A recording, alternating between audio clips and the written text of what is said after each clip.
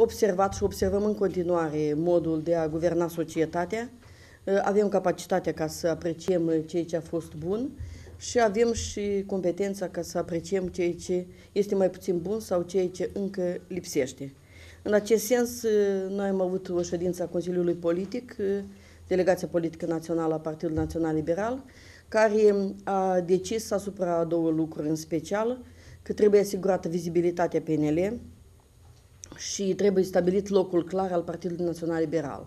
Noi, dacă nu suntem la guvernare, pentru că nu am fost invitați, la guvernare înseamnă că suntem în opoziție. Dar pentru că împărtășim aceleași obiective, aceleași idei, aceleași viziuni, avem aceleași aspirații pro-europene, naționale, noi am decis și s-a hotărât prin vot că vom fi într-o opoziție constructivă, chiar dacă acest termen, într-o mare măsură, a fost compromis în Republica Moldova. Și când spun acest lucru, am în vedere faptul că au colaborat PPCD-știi cu comuniștii, lucru care a fost detestat de toată lumea bună și de oamenii cu viziuni cu adevărat democratice.